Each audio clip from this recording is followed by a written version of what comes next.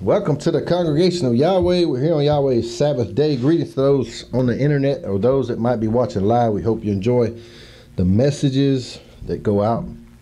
Uh, today's message is entitled Love is the Fullness of the Law. And um, a lot of uh, mainstream interpretation, when they see that love is the fulfillment of the law, they interpret that as the doing away with the abolition of or bringing it to an end. But I believe that the commandments are the glass half full, and love is uh, filled to the brim.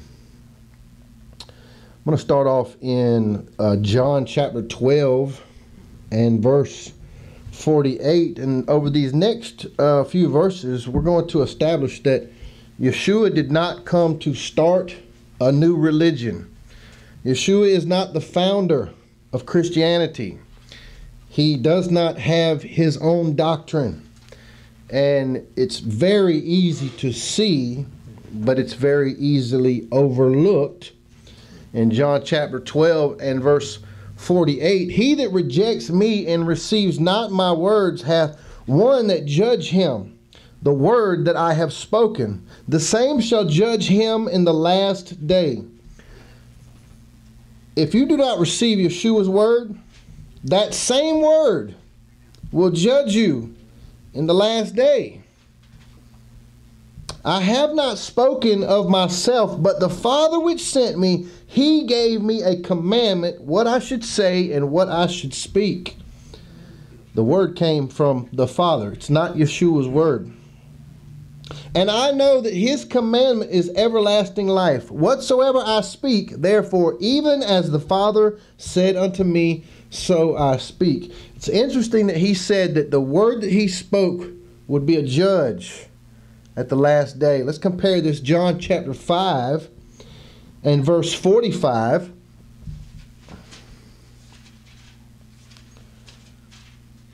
Do not think that I will accuse you to the Father. There is one that accuses you, even Moses, in whom you trust. For had you believed Moses, you would have believed me, for he wrote of me. Watch this comparison. But if you believe not his writings, how shall you believe my words? Why? Because Yeshua spoke the word of the Father that came through Moses. Hallelujah. John chapter 14 and verse 23. Yeshua answered and said unto him, If a man love me, he will keep my words, and my Father will love him, and we will come unto him and make our abode with him. He that loves me not keeps not my sayings, and the word which you hear is not mine, but the Father's which sent me. How many witnesses do we need to believe that Yeshua spoke none of his own words? Chapter 7 of John and verse 15. This verse right here, over the past few days, has really resonated with me and, and just, I've been wowed over these next couple verses uh, verse 15. And the Jews marveled, saying, How knowest this man letters, having never learned? How is this man schooled in the scriptures and he wasn't taught? Verse 16. Yeshua answered them and said, My doctrine is not mine, but his that sent me. If any man will do his will, he shall know of the doctrine. Let me back it up real quick. The, the two words will here, they have the same root, but they're, uh, they're two numbers different in your Strong's Concordance. But for, uh, for a better understanding, it could be translated as if any man has a desire to do what Yahweh wants them to do. If any man has a desire to do the will of Yahweh, then he shall know of the doctrine, whether it be from Yahweh or whether I speak from myself. Did you get that? If you want to do what Yahweh tells you to do, then you will know whether it came from him or whether Yeshua started his own religion.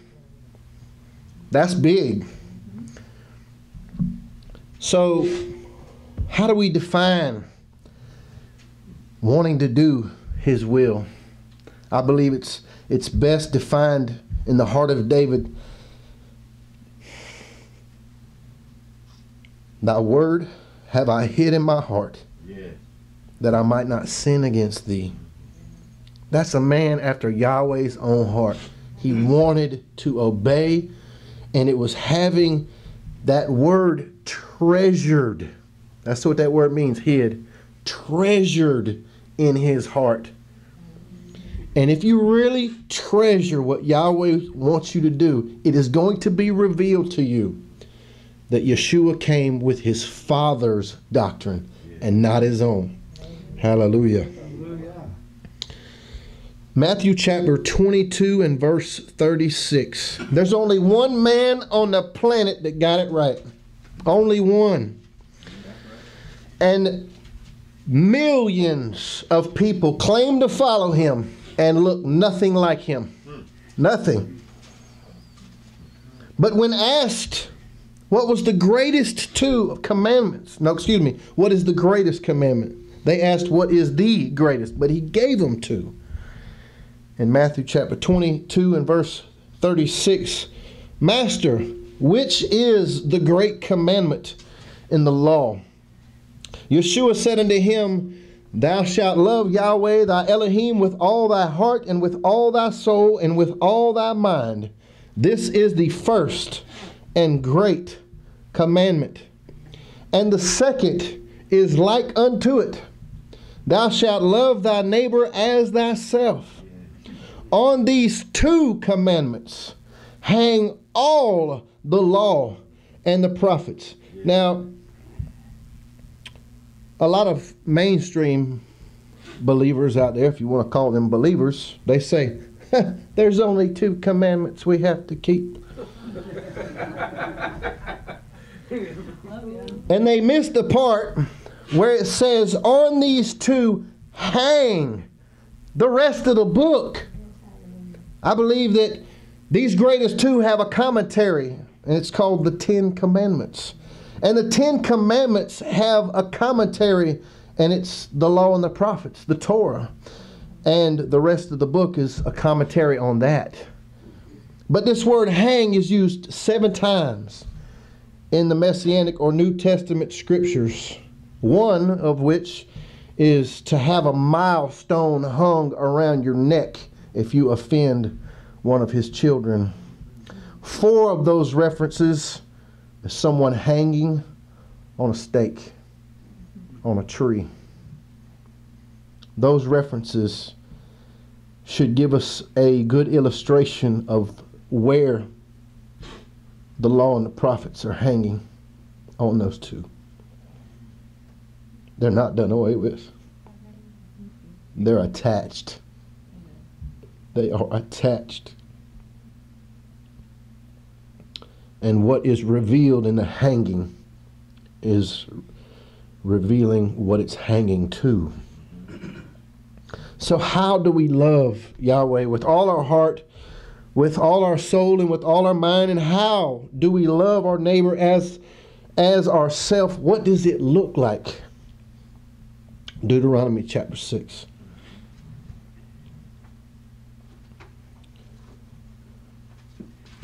Starting in verse 1. Now these are the commandments, the statutes, and the judgments which Yahweh your Elohim commands to teach you, com- commanded to teach you, that you might do them in the land where you go to possess it that you might fear Yahweh your Elohim, to keep all his statutes and his commandments which I command thee, you and your son and your son's sons, all the days of your life, that your days may be prolonged. Why does he say to your son and to your son's sons? It sounds like something that he wants to go on forever. perpetually. So, what are these children supposed to do when someone raises up and says, No, we, we don't live like that no more? No, uh, this this new guy is on the scene. He's changed everything. He did away with all that stuff. That stuff is obsolete. These people are supposed to stand up and say that is an abomination. Hear therefore, O Israel, and observe to do it, that it may be well with thee, and that you may increase mightily, as Yahweh Elohim of your fathers has promised thee, in all in the land that floweth with milk and honey. Hear, O Israel, Yahweh our Elohim is one Yahweh. And thou shalt love Yahweh thy Elohim with all thy heart, and with all thy soul, and with all thy might. And these words which I command thee this day shall be in thine heart, just like the heart of David.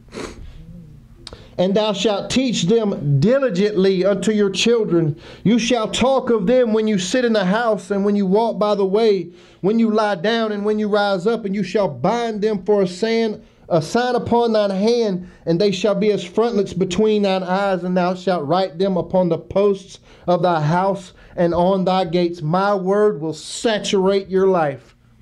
That is the love of Yahweh when my word is on your heart so much that it comes from you and that it is seen in everything around you and it is on your mind all the time. That is the definition of loving Yahweh with all your heart. Hallelujah. Chapter 7 of Deuteronomy and verse 6.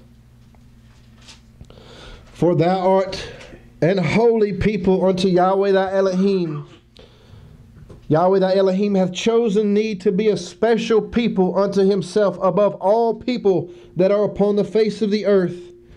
Yahweh did not set his love upon you, nor choose you because you were numberless than any people, for you were the fewest of all people, but because Yahweh loved you, and because he would keep the oath which he sware unto your fathers, hath Yahweh brought you out with a mighty hand and redeemed you out of the house of bondmen from the hand of Pharaoh, king of Egypt.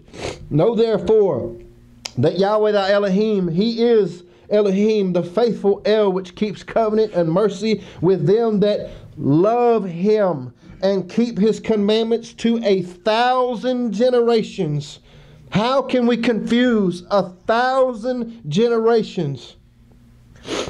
He keeps covenant and mercy with them that love him. And over and over in Scripture, we will see love attached to obedience. The fruit of love is obedience. If you love someone, it will be seen in how you treat them. Verse 10 And repays them that hate him to their face to destroy them. He will not be slack to him that hates him, he will repay him to his face. Thou shalt therefore keep the commandments and statutes and judgments which I command thee this day to do them. Wherefore it shall come to pass, if you hearken to these judgments and keep them and do them, that Yahweh thy Elohim shall keep unto thee the covenant and mercy which he sware unto thy fathers, and he will love thee and bless thee and multiply thee. He will bless the fruit of your womb, the fruit of thy land, thy corn, thy wine, thine oil, the increase of thy kind, the flocks of thy sheep, in the land which he sware unto thy fathers to give thee. He promises nothing but blessing, and the world says that the law is a curse that can't be kept. They confuse the verse in Galatians that says he has redeemed us from the curse of the law. See, his law is a curse. No, but the curse of the law was death, and he hung it on a tree. Verse 14 Thou shalt be blessed above all people. There shall not be male or female barren among you or among your cattle. Deuteronomy chapter 10 and verse 12. And now, Israel, What does Yahweh thy El require of thee but to fear Yahweh thy El, to walk in all his ways and to love him, to serve Yahweh thy Elohim with all thy heart and with all thy soul, to keep the commandments of Yahweh and his statutes which I command thee this day. Behold, the heaven of heavens, the heaven and the heaven of heavens is Yahweh thy Elohim, the earth with all that therein is. Only Yahweh had a delight in thy fathers to love them, and he chose their seed after them, even you above all people as it is this day. Circumcise therefore the foreskin of your heart, and be no more stiff necked. Ladies and gentlemen, the missing element with his people was having that heart in them to obey. And when the writer of Hebrews recounts the covenant, and he says, you know, if there wasn't a fault in the first, then there wouldn't have been a need for the second. And he tells us that finding fault with them, he did not find a fault with the instructions. He found a fault with the heart of the people that did not have it in them, in themselves, to obey. And the new covenant is to have a new heart and a new spirit within you that will cause you to obey.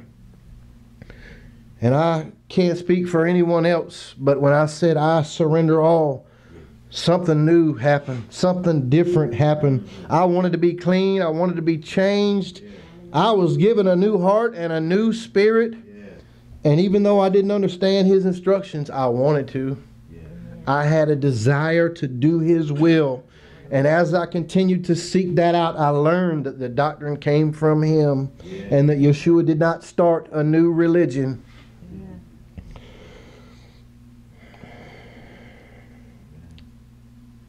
Verse 17 For Yahweh, your El, is El of El's and sovereign of sovereigns, a great El, a mighty and terrible, which regards not persons. That he doesn't regard persons. That means he doesn't show favoritism.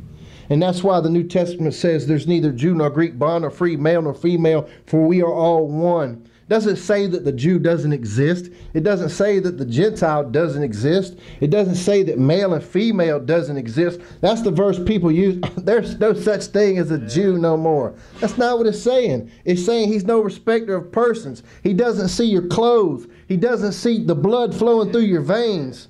We're all on the same playing field and we need to be hid in the Messiah. Old needs to die and we need to be hid in him. And it says that Paul says in Galatians that I no longer live, but the Messiah lives in me. We're supposed to die. Our new identity, our image, the light that's reflecting from us is the image of Yeshua, who's the image of Yahweh. Deuteronomy chapter 13.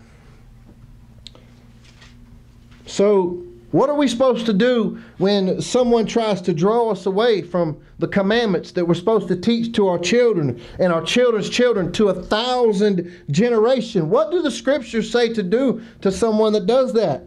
Verse 1 If there arise among you a prophet or a dreamer of dreams, and gives thee a sign or a wonder, and the sign or wonder comes to pass whereof he spake unto thee, saying, Let us go after other mighty ones which thou hast not known, and let us serve them. Thou shalt not hearken unto the words of that prophet or that dreamer of dreams. For Yahweh or El is proving you to know whether you love him with all your heart and with all your soul. You shall not walk after you shall not walk after Yahweh your El and fear him and keep his commandments. Excuse me. You shall walk after Yahweh your El and fear him and keep his commandments and obey his voice, you shall serve him and cleave unto him. That word cleave means be glued, stuck to.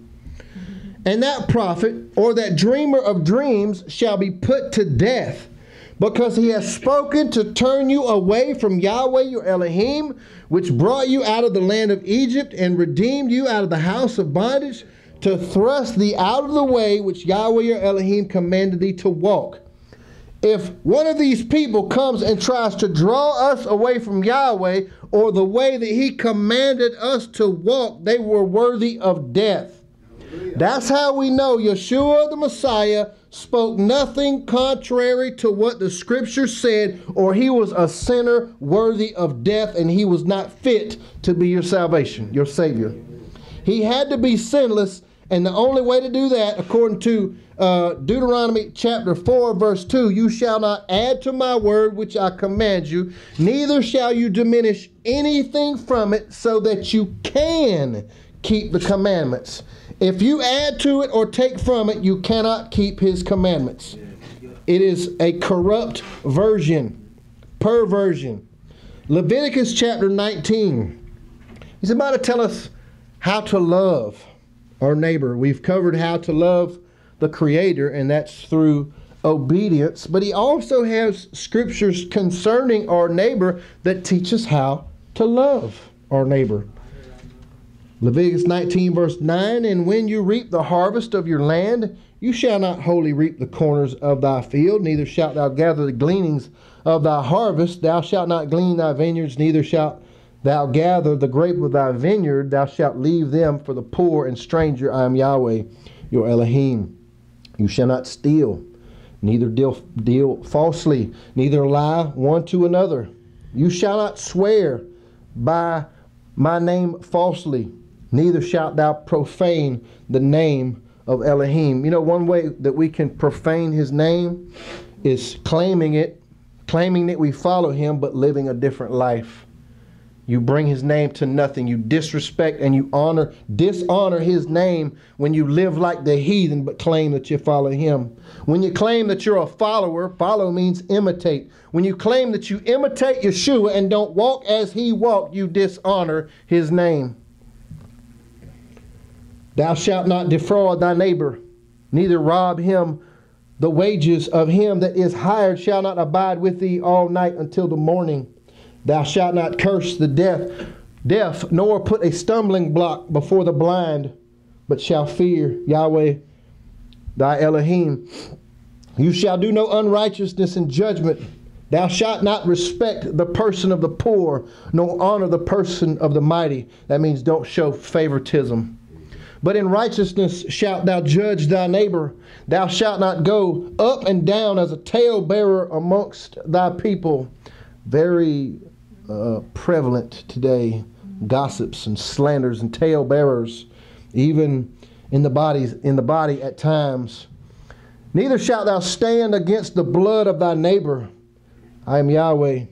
Thou shalt not hate thy brother in thine heart. Thou shalt in any wise rebuke thy neighbor and not suffer sin upon him. Rebuking your neighbor is an act of love.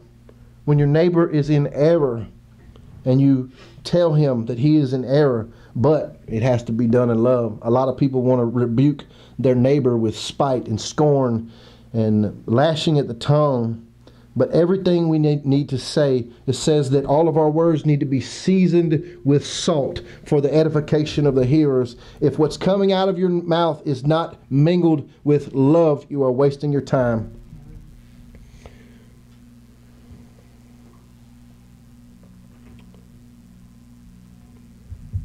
Thou shalt not avenge nor bear any grudge against the children of thy people but thou shalt love thy neighbor as thyself. That verse right there is where Yeshua got it from. After telling us how to deal with our neighbor and taking care of the poor and just common sense issues with your neighbor, not to be a liar, a talebearer, not to put stumbling blocks in front of people, mm-hmm. judging with righteousness and not showing favoritism, then he says, Love your neighbor as yourself. There's another place which that is also quoted in uh, a little later on in the chapter in verse 33. And if a stranger sojourn with thee in your land, you shall not vex him. But the stranger that dwells with you shall be unto you as one born among you, and thou shalt love him as thyself. For you were strangers in the land of Egypt. I am Yahweh your Elohim. Let's take this verse just a little bit deeper here.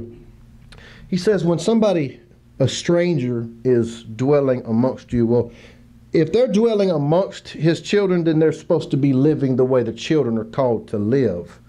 Uh, there will be one law for you and for the stranger that sojourns among you. That's Numbers chapter 15, also Exodus chapter 12. But when this stranger comes and dwells among you and is living the way you were told to live, you will not vex him. And uh, you will love him as yourself. And the example that it gives is because you were a stranger in the land of Egypt. Do you remember how you were vexed and persecuted in the land of Egypt when you were made to be a slave? Do you remember that? Well, don't treat your guests that way and remember how it was for you when you were in Egypt. And on a, a different note, we know that the deeper allegorical meaning behind Egypt was all of humanity is enslaved to sin. And when we come out, we need to remember that people are still there and remember that they needed to be treated with love and respect. And always keep in mind, you know, we have a tendency in this movement, we get enlightened with, with knowledge and revelation and then we look back at where we used to be, we forget that we were once there and we talk condescending to people. We, uh, the Bible says that knowledge puffeth up. That means it makes prideful. And we always need to remember that the person that hasn't been enlightened yet, it's where we used to be. And we need to speak to them with compassion. And a little love goes a long way. And I just a, I'm led to share a quick testimony here while, while we're on this. We took in a, a homeless man a, a, few weeks ago. He had he had lost his his car. His car had been imp- impounded. He was pretty much just kind of flopping back and forth between houses, between people that he knew. He called. He saw one of our, our advertisements for the ministry, and he told me a story. And I said, "All right, we're coming to get you." And it just blew his mind that a stranger would come and pick up a complete stranger off the street, no questions asked. And he said, How is this possible? How is it possible that, that he does this? And my guy said, That's just what we do. That's just what we do. And he, when he heard the things that we, we teach, it, he was blown away because he had been around the church his whole life, been exposed to mainstream stream doctrine, but he was he was digging. But I think, and I believe he's he's seeing the light just within a few weeks. Uh, he says, you know, the hardest thing for me is to get outside of my tradition because it's stepping on my toes. But everything I'm hearing makes sense. But that act of love touched that man's heart and made such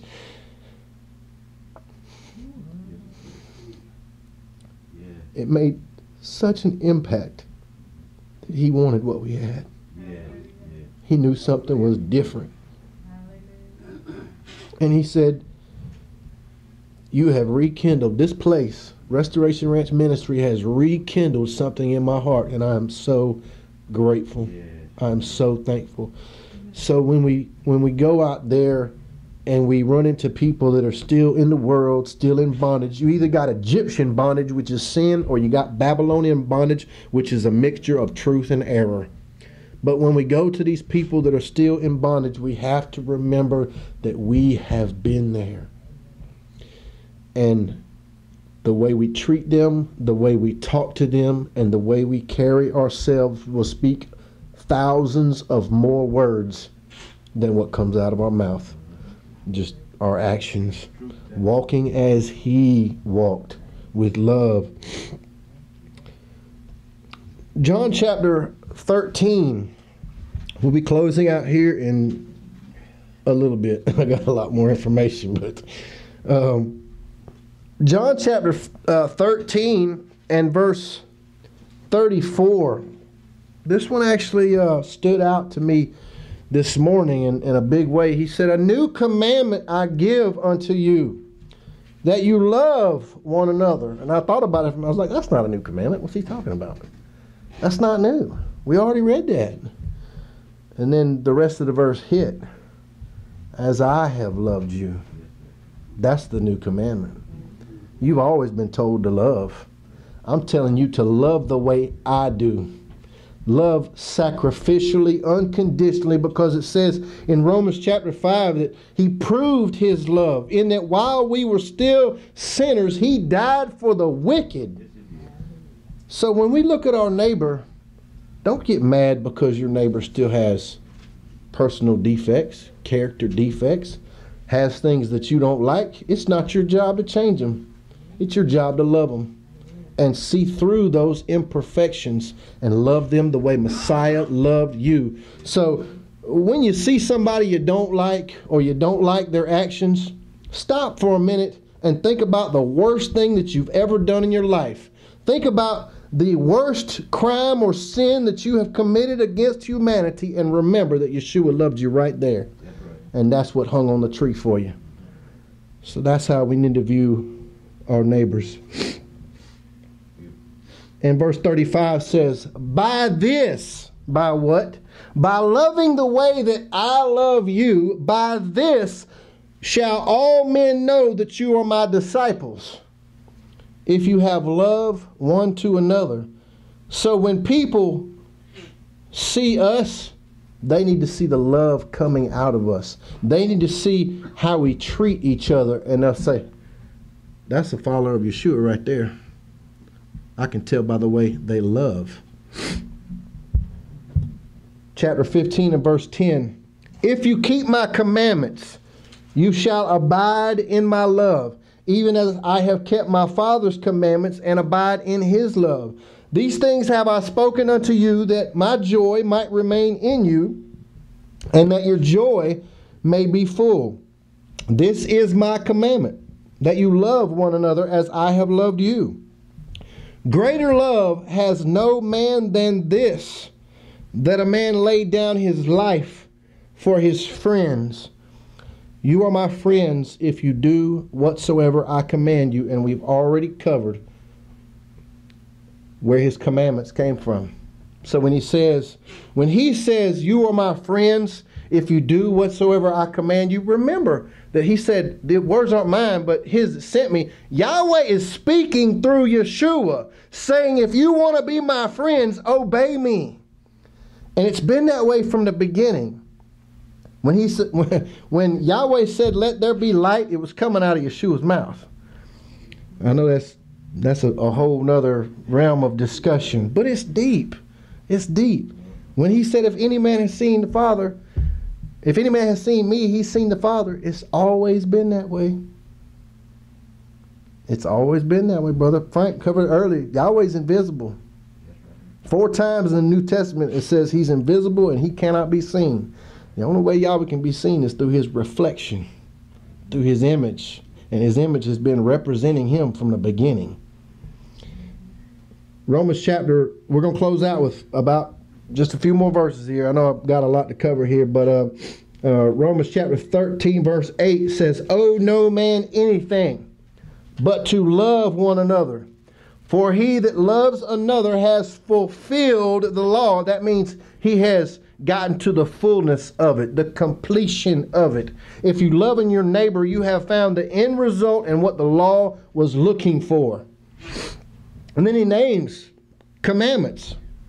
Don't commit adultery. Don't steal. Uh, don't kill. Don't bear false witness. Don't covet. And if there be any other commandment, it is briefly, it is briefly comprehended in this saying you should love your neighbor as yourself. All the commandments he just named was fulfilled and summed up in the statement, love your neighbor as yourself. Love works no ill toward his, towards his neighbor. Love is the fulfilling of the law. If you are truly walking in love, you will not transgress against your neighbor. Galatians chapter 5, verse 13. Verse, uh, verse 14. For all the law is fulfilled, brought to completion in one word Thou shalt love thy neighbor as thyself. But if you bite and devour one another, take heed that you be not consumed one of another. We need to be very careful how we treat our brothers. The way we talk will devour, we will consume each other. Uh, 1 Peter chapter 1, verse 22. Seeing you have purified your souls, how? In obeying the truth, how? Through the Spirit. Yes, it is the Spirit that causes us to obey. Unto unfeigned love. Unfeigned means without hypocrisy. Loving without hypocrisy. Obeying the truth through the Spirit without hypocrisy, love, without hypocritical love of the brethren. See that you love one another with a pure heart fervently. Being born again, not of corruptible seed, but of incorruptible, by the word of Yahweh which lives and abides forever. That's another verse that they overlook.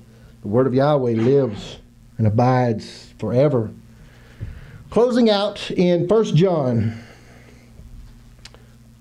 1 John chapter 2 and verse 3. Hereby we do know that we know him if we keep his commandments. He that saith, I know him, and keeps not his commandments, is a liar or deceived, one of the two. And the truth is not in him, but whosoever keeps his word, in him verily the love of Yahweh is perfected. Hereby know that we are in him. He that says he abides in him ought himself also to walk even as he walked. And that means to live the way he lived. Verse 9, skipping down to verse 9. He that says he is in the light and hates his brother is in darkness.